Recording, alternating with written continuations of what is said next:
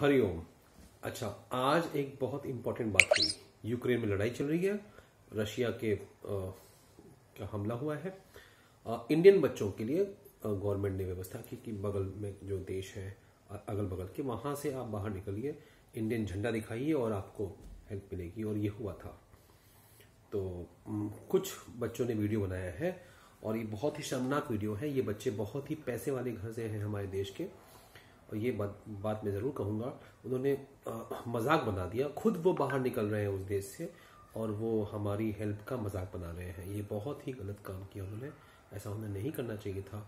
लेकिन यहाँ हमारे देश में पैसे वालों की बड़ी बड़ी ताकत है भाई। मेडिकल एग्ज़ाम की बात कर रहा हूँ मैं। ये उसी से लिंक्ड है। आज मोदी जी ने भी बहुत अच्छा बयान दिया कि हमारे बच्चे इन छोटे देशों में ना जाए फॉरन कंट्री में, बोले हमारे देश में पढ़ाई करें। और मोदी जी से मैं हाथ जोड़ के अनुरोध करूँगा, मैं आने को तैयार हूँ नई दिल्ली में, आपके लिए काम करने का तैयार हूँ। न्यू एनएलपी में मैं आपको ये सजेशन दे रहा हूँ मोदी जी, आप इसे मानिए। हमारे देश में एमबीबीएस की पढ़ाई कम पैसों में नहीं हो पाती है। इसका एक ही उपाय है हमारे पास। और वो ये है कि जैसे कि मैंने इग्नू से कोर्स किया है और इग्नू में एक कोर्स है, जहाँ दो साल का कोर्स, आपको पाँच साल तक वैलिडिटी होती है। आप हर छह महीने में एग्ज़ाम दीजिए। उसी तरह से हमारे देश में एक तरफ़ तो एमबीबीएस की बहुत कमी है, दूसरी तरफ़ B M S B H M S homeopath dietitian psychologist, फिर philosophist BPT physiotherapist, occupational therapist, इनको डॉक्टर की पदवी नहीं मिल रही है। तो कुछ अगर आप डॉक्टर की पदवी से ऐतराज है तो आप सेमी डॉक्टर का नाम दे दीजिए। लेकिन इनको कुछ ना कुछ डिग्री दीजिए, डायरेक्ट मेडिकल डिग्री का ऑफ़र मैं कह रहा हूँ, डायरेक्ट मेडिकल डिग्री दीजिए, कॉलेज छह साल करने के बजाय आप इनकी एग्ज़ाम लीजिए हर छह छह महीने में, जैसे इग्नू के डायटेटिक्स कोर्स में होता है एक्सक्यूज मी वो भी मेडिकल कोर्स पैरामेडिकल कोर्स है, उसी श्रेणी में आता है। छह छह महीने में आपको एग्ज़ाम देनी है, तैयारी आप बाहर से करिए।